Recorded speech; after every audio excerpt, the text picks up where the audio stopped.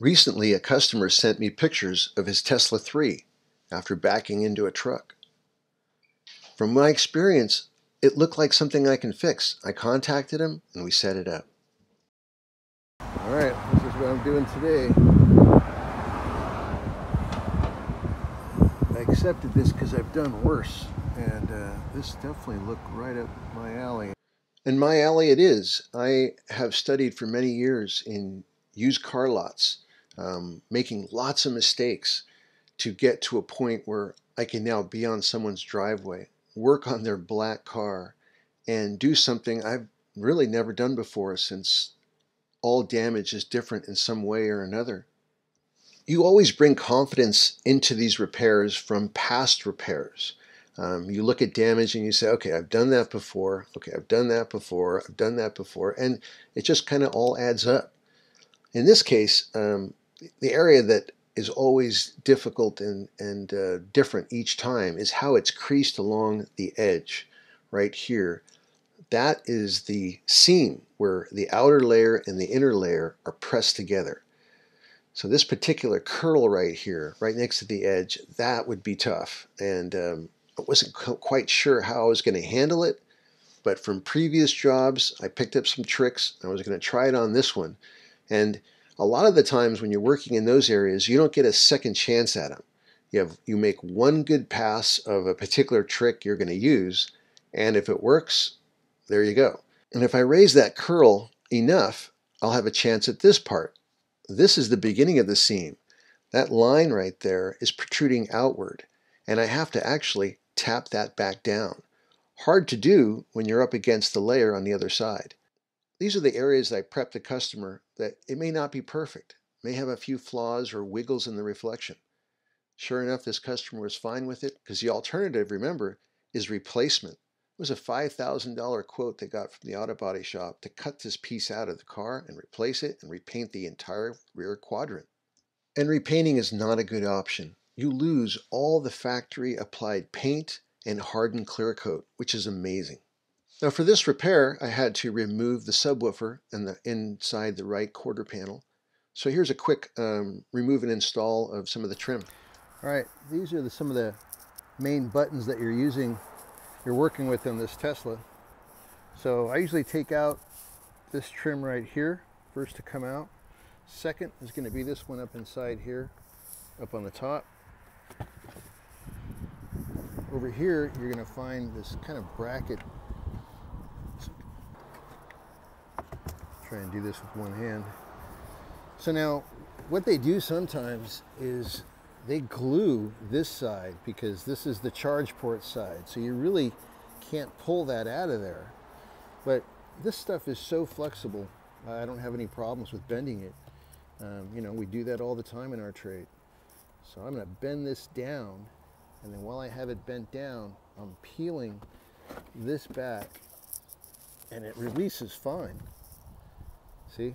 So now I got a straight shot at getting that subwoofer out. And the subwoofer is just two bolts and two nuts. You don't even have to unplug it. You literally just lift it out of the way and move it on its side. And I just kind of strap it down uh, out of the way.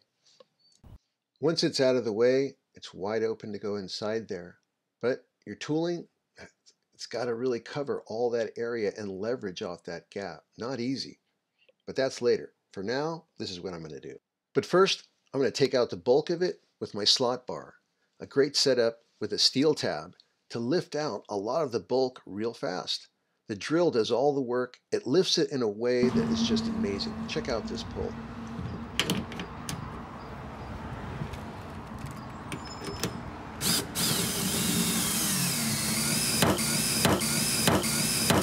Just having some fun.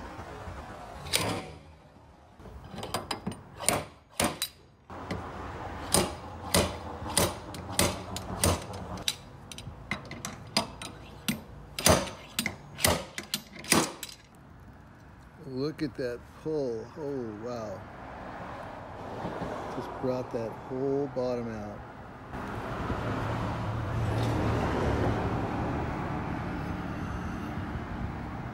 These steel tabs are just killing this Tesla quarter pan.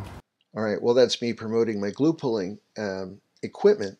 Glue pulling is fantastic. But in dents like this, it only takes you so far. And I think that's really important for people to know who are watching this, that glue pulling is fantastic. I use it all the time. I'm using it in this repair, but at, there's a certain point where it's worthless and it's just a waste of time to continue with it. At some point, you need tooling to work on this type of damage. And to see lately, at least on social media, you'll see a picture from way over here saying all glue pulling. When you have to see the details, not from way over here, you want to get up close and you want to see it in video. So to really um, research paintless dent repair, don't look for pictures. Uh, there's a lot of flaws that can be hidden in pictures, and you're not really shown the true story as to how they got to these certain areas. And I, I can tell you many times, if you have pictures taken from way over here and they're talking about glue pulling, they're not showing you everything. And you really need to know everything. The last thing you want to be doing is trying a particular technique and not getting anywhere and wondering what's going on. Why? It's because you're you're listening to advice from people showing you their repairs from over here. you don't want that. You want video up close. You want to see details as to how it's done, and it's not all the time glue pulling. It is some incredible tooling. I mean, many areas of the repair need tooling. For example, right here, this is a body line that's just crushed. You need to lift that out with tools. To do that with glue, oh my gosh, like this small little area here, glue pulling that for three hours doesn't make sense to try and get it perfect when a tool could get in there and do it in 10, 15 minutes. So your tooling skills have a lot to do with PDR. So not necessarily um, trying one particular technique. It always, in my opinion, comes down to your tooling and how you manipulate it. The key is the tooling. And this is what I'm going over in the membership page right now for members to know about the tooling, how to fabricate, how to bend the tooling, how to make the ends work for you every single time.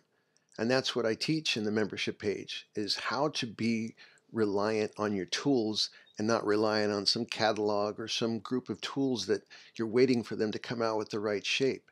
You make your own. This is why I really recommend just using regular sockets. They're designed for heavy torque and you can really change up the uh, the way it goes, you know, goes in your hand, whether it's in a, you know, 10 inches like this or in 20 inches, you can change it up so much. So I highly recommend sockets. Look at this. I am torquing that body line out with one hand while I'm holding the camera. Just because I have it set up just right inside there. Now I don't know of another handle system that could do that. And that's why I stick with sockets and the, and the rod I was using was too short so I have an extension in there so there you go this is information I have on the membership page which is really valuable. Teaching people how to set up their tools to where you can tackle any job just because you're not just buying what's out there you're making it. After you push up the metal you have to knock it back down. And these skills you have to have. How to knock down highs and waves in metal and really not dimple it up because that's how you create a lot more work for yourself. This particular handle uh, I'm holding is called the slapper tapper and it creates a vibration that's excellent for knocking down a wave and making it flat without dimpling it.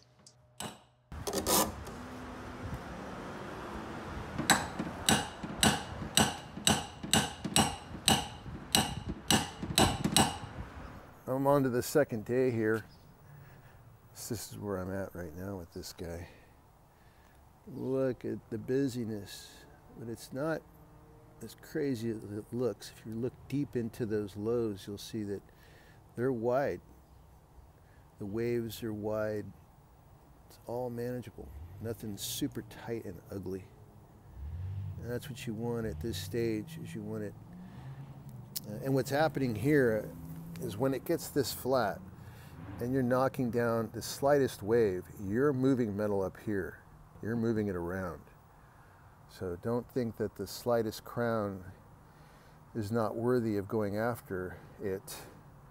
Once you knock down anything that's high, you're, it's, it's going places because it's so flat now, you're sending it. See, here's some original impact showing up now. That's what you want to do is you want to expose the original impact marks and then take them out in the end. I'm saving this for later because I'm not sure how I'm going to do that. But I like the way the rest is turning out.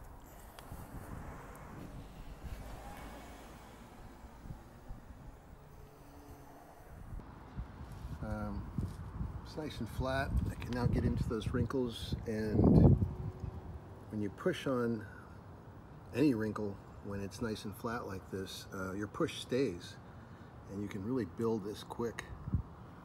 Saving this for last to see how it turns out. I told the customer this is where the flaws were going to be, but um, everything else was going to turn out nice. So far, it's coming together. Edge right here, I've been saving till the end. I'm to get my big steel tab on there and just start pulling out that edge, see if it comes out.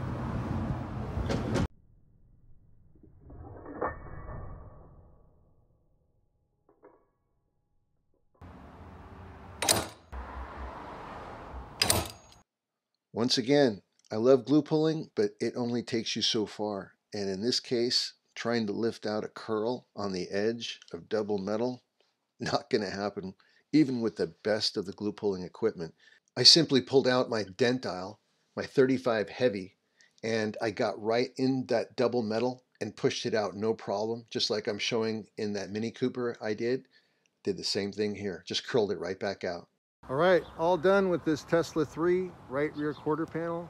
You know, I've been working pretty solid through this pandemic and, well, what am I, what am I having it on for? Um, and it's these kinds of jobs that are keeping me busy. You know, one thing I wanted to do on this particular job is I didn't want to drill a hole. So check it out. You know, I um, did not drill a hole here. Don't recommend that. This is, you know, water's coming down in there. You don't want any holes along here. And then up inside the wheel well, so let's see if I can show you this. no holes there. And just in case, as well show you from the access I had. No holes here either. You'd see some daylight if I had. So there you go. No holes. And here is my result. What was tough about this is that I, I couldn't push in this direction. You know, usually if I had some kind of access here, I could work this angle, but I didn't. But it still came out real nice. I'm real happy with it. You can see the minor imperfections, but the original paint, clear coat. What's really cool about this uh, car is it's electric. The paint is electrostatically attached uh, to the metal, which makes it amazing, and it just won't crack. It's amazing. So you can work out some really bad dents in Teslas, all because of the paint. This is fantastic for staying on and working with. So I love these cars to work on. I love to fix uh, damage like this if you have it on your Tesla. If the body shop says they have to paint it or replace that quarter panel, it's a big deal when they do that. We can save your car from the body shop with these kinds of results keeping your factory finish. Thanks for watching. Really appreciate your support online. This is Sal with Dent Experts YouTube channel fixing the right quarter of a Tesla 3. Thanks for watching.